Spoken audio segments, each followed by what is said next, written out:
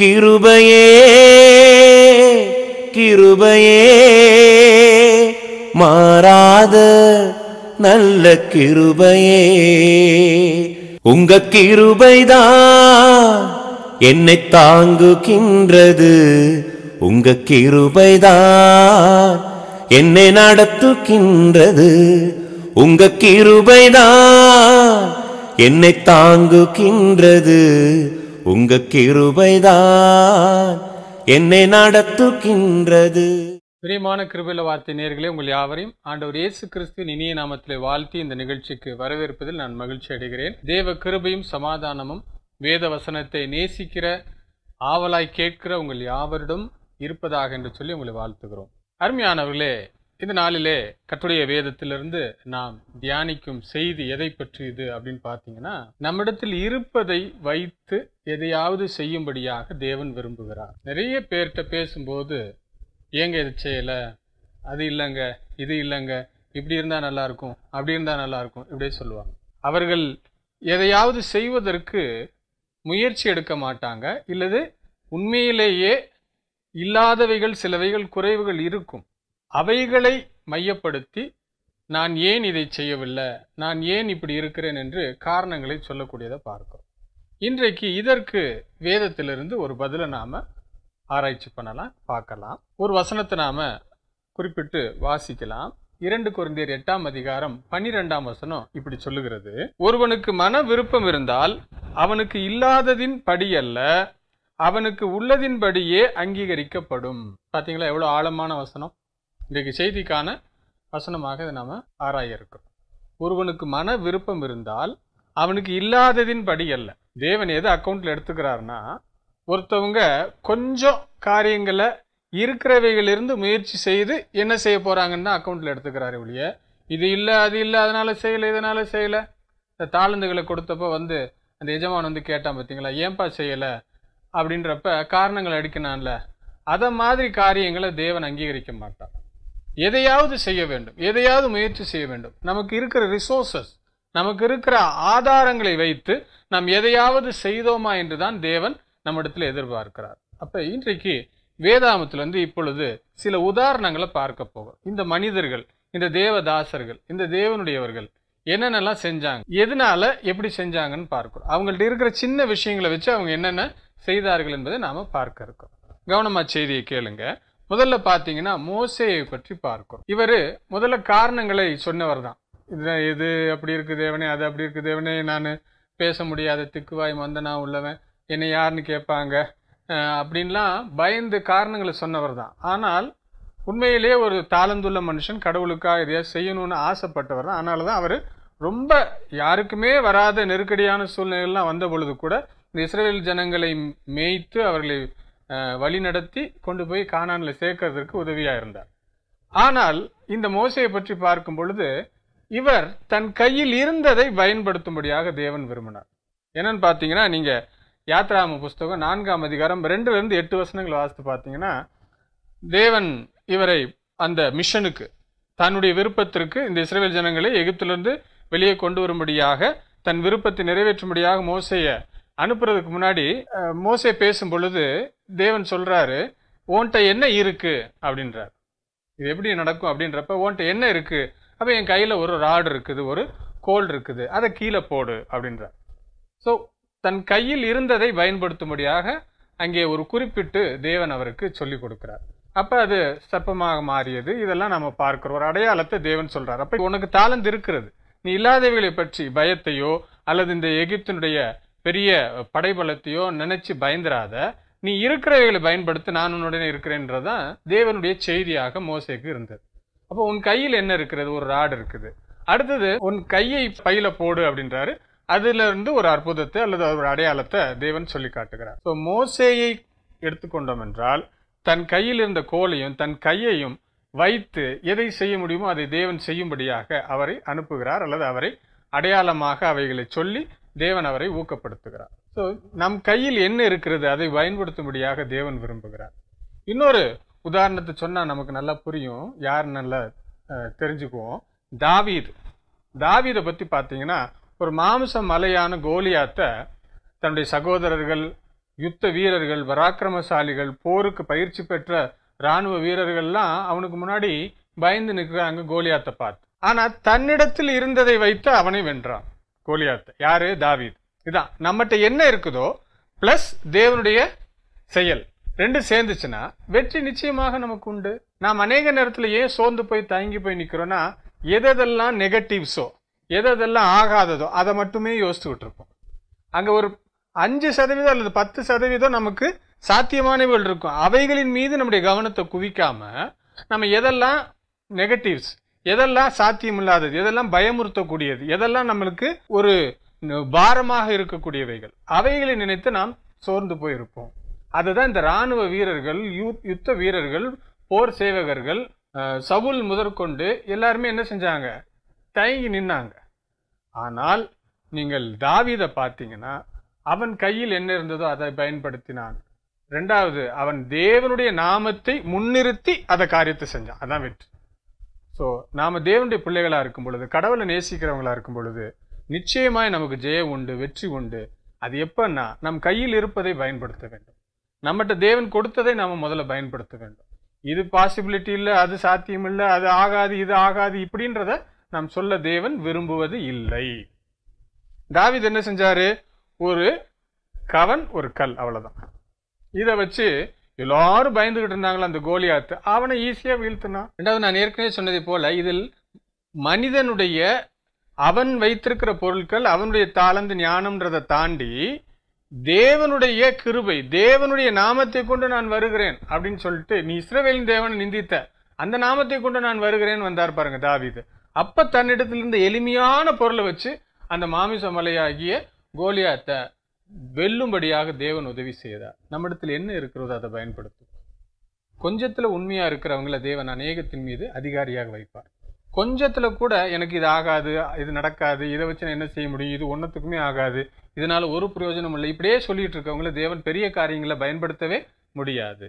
நாம் எதையாவது செய்ய வேண்டும். அப்போ தேவ கிருபையும் தேவ அனுகிரகமும் கூட சேர்ந்து கொண்டு நமக்கு பெரிய காரியங்களை அது பெற்றுத்தரும் வழி நடத்தும் என்பதை நாம் மறந்துவிடக்கூடாது. ஒரு விதவையை பற்றி பார்க்கிறோம். இளைய தீர்க்க தரிசனுடைய இல்லை பஞ்சத்தின் நேரத்தில் அந்த விதவை வீட்டுக்கு சாரிபாத் ஒரு விதவை வீட்டுக்கு போகும்பொழுது அவள் தன்னிடத்தில் இருந்ததை பயன்படுத்தினால் பெரிய ஆசீர்வாதம் உண்டாச்சு. இன்னைக்கு செய்தி இதுதான். நம்ம இடத்துல என்ன இருக்கிறது அதை பயன்படுத்துவோம். நம்ம இடத்துல எளிமையானவைகளை தாளந்தோ பொருட்களோ அல்லது ஞானமோ எதுவா இருக்கட்டும் எளிமையானவைகளை கொண்டு நாம் கர்த்தருக்காக கர்த்தரை நாமத்தை முன்னிட்டு எதையாவது செய்வோம். வெற்றி நிச்சயமாக நமக்கு உண்டு என்பதை மறந்துடாதீங்க.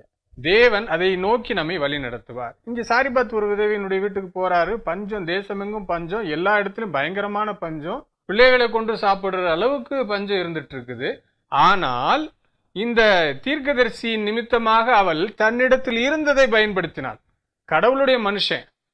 அவன் சொல்லிட்டான் முதல்ல வந்து தனக்கும் தன் பிள்ளைக்கும் சாப்பிட்டு நாங்கள் சாக போறோம்னு தான் சொல்றான் ஆனால் நீ அதை செய்ய வேண்டாம் இது எனக்கு முதல்ல கொடு அப்படின்னு சொல்லும் பொழுது அவள் அதை செய்ய ஆயத்தமானாள். செய்தால் அதை மறுக்கவில்லை. தன்னிடத்தில் இருப்பதை அப்படி செய்தால் அது கர்த்- கடவுளுடைய மனுஷனுக்காக அப்படி செஞ்சதுனால அந்த தேசத்துல பஞ்சம் நீங்கும் அளவுக்கு வசனம் சொல்கிறது பஞ்சம் போகிற அளவுக்கு அவளுடைய வீட்டுல இந்த எண்ணெயும் மாவும் குறைவுபடலை இதை தான் தேவன் நம்மிடத்தில் எதிர்பார்க்கிறார். What is in our hand let us use that one நம்மிடத்தில் இருப்பதை நம் கைகளில் இருப்பதை நாம் பயன்படுத்துவோம். நாம் எதெல்லாம் ஆகாதோ அதை பற்றி யோசிக்க வேண்டியதில்லை. ஸோ ஒரு மாவும் எண்ணெயும் தன்னிடத்தில் இருந்தது. எளிமையாக அதை பயன்படுத்தினால் தேவனுடைய ஆசீர்வாதத்தை பெற்றுக்கொண்டார். இன்னொரு உதாரணத்தையும் உங்களிடத்தில் நான் சொல்ல விரும்புகிறேன் பகிர்ந்து கொள்ள விரும்புகிறேன். ஆண்டவராக இயேசு கிறிஸ்து போதனை செய்கிறார். மக்கள் ரொம்ப ஆர்வமாக ஒரு நாள் ரெண்டு நாள் கூட உட்காந்து வசனங்களை கேட்குறாங்க. பசி உண்டாச்சு.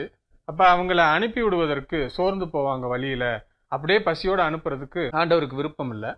அப்போ உங்களிடத்துல என்ன இருக்குதுன்னு கேட்கும் பொழுது எல்லாருடைய மனக்கணக்கும் என்ன திரும்ப இருந்துச்சு? ஓ நம்ம ஐயாயிரம் பேராவது இருப்போம்.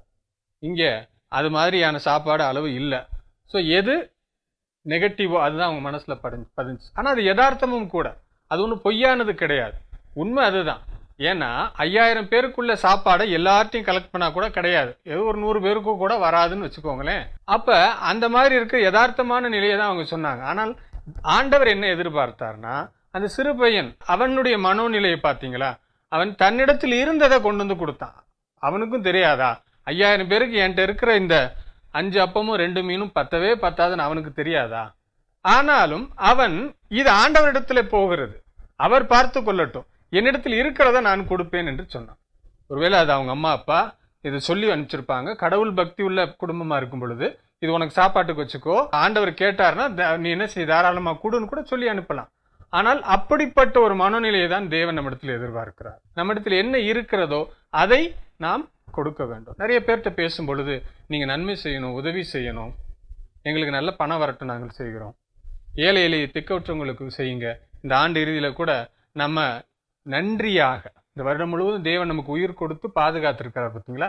அதுக்கு நன்றியாக யாருக்காவது ஒரு ஏழை குடும்பத்திற்கு உடையோ ஒரு அரிசியோ உணவோ இவைகளை நாம் வாங்கி கொடுக்க நாம் கடமைப்பட்டிருக்கிறோம்.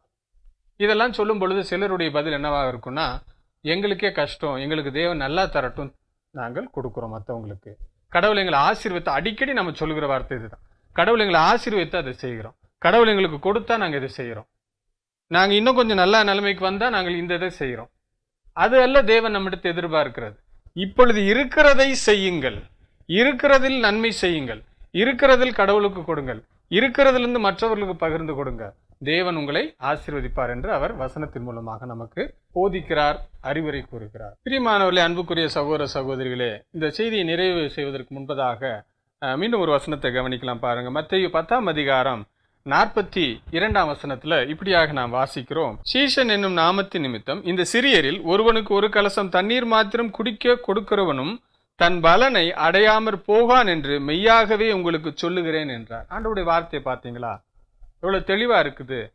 அதாவது சீஷன் என்னும் நாமத்தின் நிமித்தம் இவங்க தேவ ஊழியக்காரங்க இவங்க தேவனுடைய மனிதர்கள் என்ற நா நாமத்தின் நிமித்தம் அதை முன்னிறுத்தி நாம் ஒருத்தருக்கு ஒரு டம்ளர் தண்ணீர் கொடுத்தா கூட அதனுடைய பலனை அடையாமற் போக மாட்டாங்கன்றார். அப்போ என்ன இருக்குதோ அதை கொடுங்க. உங்களுக்கு நான் பாதாம் பால் கொடுக்கணும்னு ஆசை தான் உங்களுக்கு நான் வந்து மில்க் ஷேக் கொடுக்கணும்னு ஆசை தான் இதெல்லாம் தேவன் எதிர்பார்க்கல. நாம் நன்மை செய்யணும்னு விரும்பிட்டால் நம்மகிட்ட என்ன ரிசோர்ஸ் இருக்குது? அதை வச்சு நம்ம செய்வோம் முதல்ல. நான் இதெல்லாம் செய்யணும்னு விரும்புகிறேன் அதெல்லாம் செய்யணும்னு விரும்புகிறேன் அப்படியெல்லாம் நடக்கணும்னு விரும்புகிறேன். இப்படியெல்லாம் கொடுக்கணும்னு விரும்புகிறேன். இதையெல்லாம் பயன்படுத்தணும்னு விரும்புகிறேன். அதையெல்லாம் தேவன் விரும்புகிறது நம்முடைய சொல்ல அல்ல. நாம் என்ன செய்கின்றோம்? நாம் எளிமையாக என்ன செய்கின்றோம்?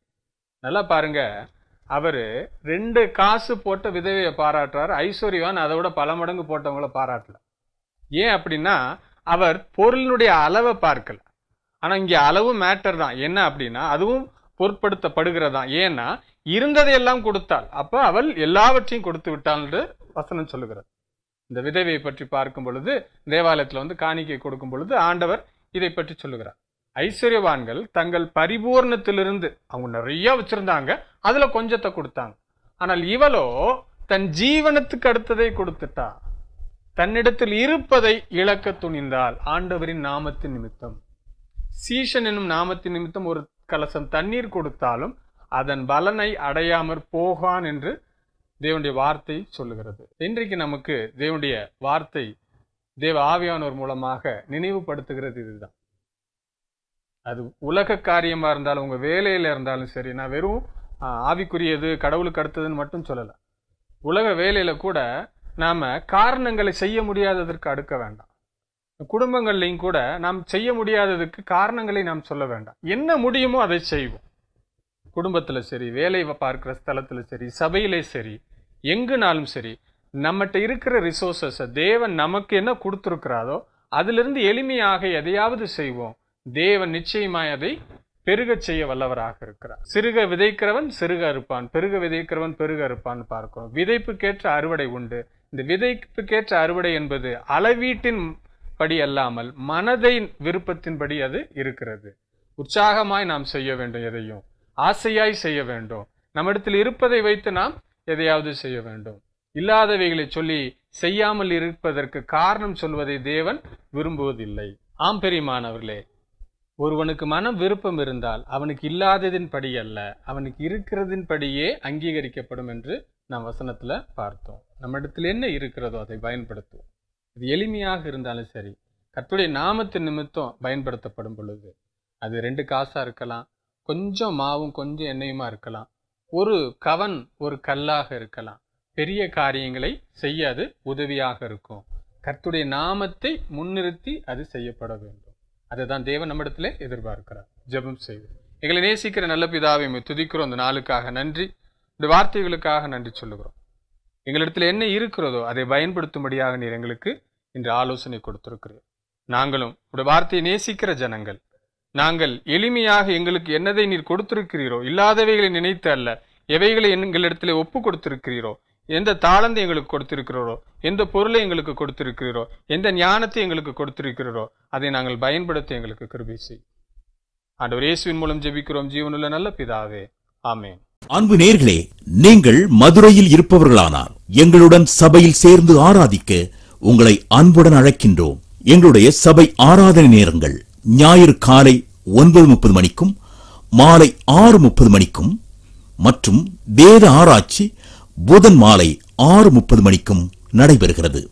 நடைபெறும் இடம் ஏஜிபி ஹால் நாற்பத்தி ஐந்து சி பார் ஒன் காரனேஷன் தெரு அரசரடி மதுரை பதினாறு. சபையில் கலந்து கொண்டு இறையாசி பெற்றுக்கொள்ள உங்கள் அனைவரையும் அன்புடன் அழைக்கின்றோம். தொடர்புக்கு ஒன்பது இரண்டு நான்கு நான்கு இரண்டு ஒன்று நான்கு நான்கு இரண்டு ஒன்று மற்றும் ஒன்பது இரண்டு நான்கு நான்கு மூன்று ஒன்று நான்கு நான்கு மூன்று ஒன்று. கிருபையுள்ள வார்த்தை தபால் பெட்டி எண் பதினைந்து அரசரடி மதுரை ஆறு இரண்டு ஐந்து பூஜ்ஜியம் ஒன்று ஆறு.